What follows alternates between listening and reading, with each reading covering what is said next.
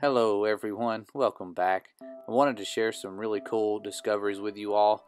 I know when we did our series called Creation Clues, there were some really deep concepts when you start looking into the microscopic complexities of life and biology.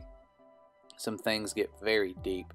And we looked at a concept called irreducible complexity. And for those of you who aren't familiar with this term, it simply means that if you have a machine with several moving parts and the removal of any of those parts completely stops its function and purpose, then it is considered irreducibly complex.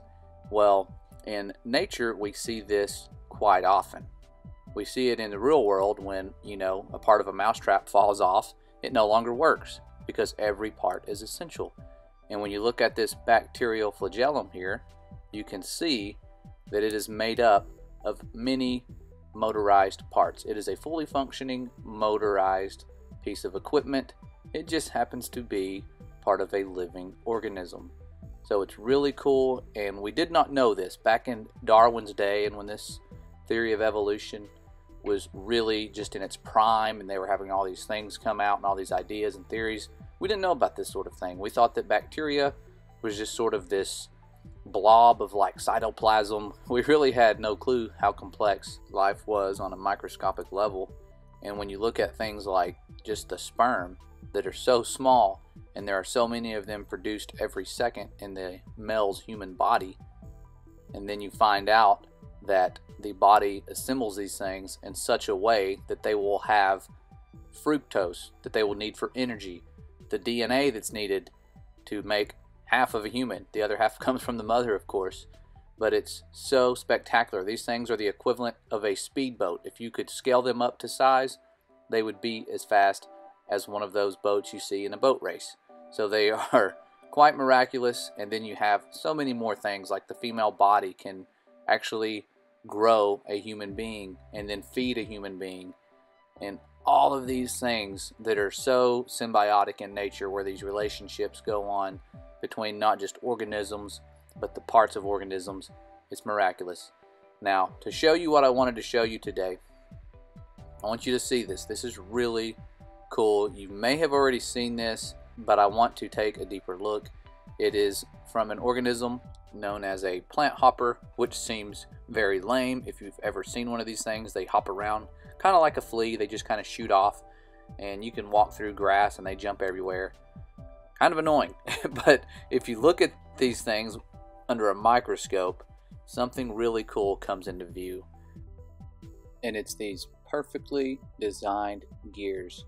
And I thought when I first saw the image of this that it was someone zooming in with an electron microscope on actual gears, maybe some tiny gears that somebody had made, because we did not realize that gears appeared anywhere in nature like this. This is something fairly new of a discovery. It's not brand new, but it is mind blowing.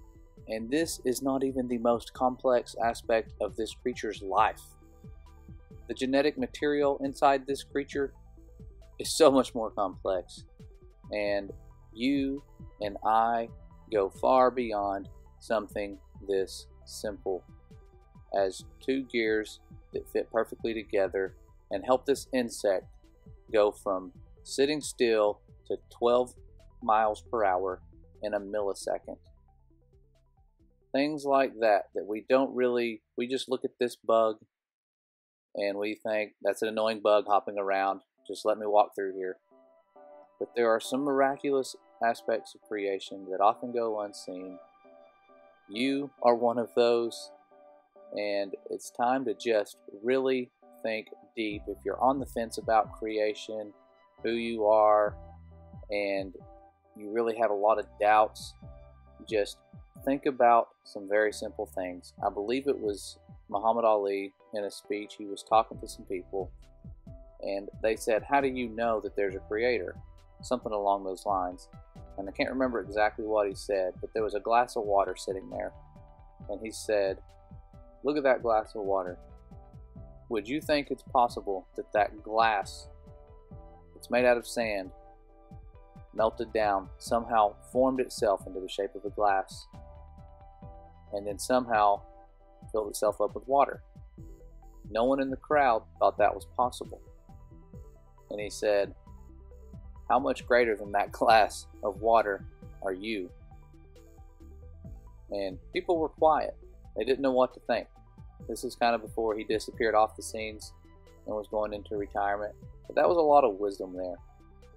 And I really want you all to understand that as dumb as creation is made to sound in science, there are a lot of hoaxes, and you can look into them, find out that it's been proven and admitted. But it goes beyond that. And you need to know that who you are and what your true purpose is is different than the mainstream paints it out to be, with all the distractions and the seemingly innocent lies about where we came from and what we live on. It all seems so innocent, and I was blinded by a lot of it growing up. I know that many of you have seen some of the exact same imagery that I have when I went through school, and it's for a reason. It's to stop you from investigating, to blind you from seeing the complexities of creation and also how much of a beloved creation you are. I can't say that enough. It's one of those things that I lost sight of for a long time and wasn't aware of until I needed it most, until I was down at the lowest low, and a love that I've never experienced before picked me up and healed me in the blink of an eye at a time when I deserved it the least and was the most hurt I've ever been.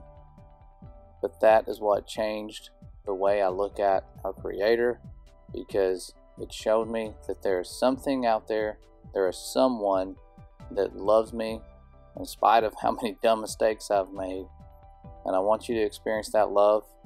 It is the most beautiful thing you could ever imagine. And a lot of us miss out on it because we don't know who we are, and we don't know what our purpose is, and we don't know how loved we really are. Can't say it enough. You are a beloved creation of the Most High, and I really hope you give it a chance. Don't take our word for it, but look into it. Thanks for watching. Love you guys. God bless.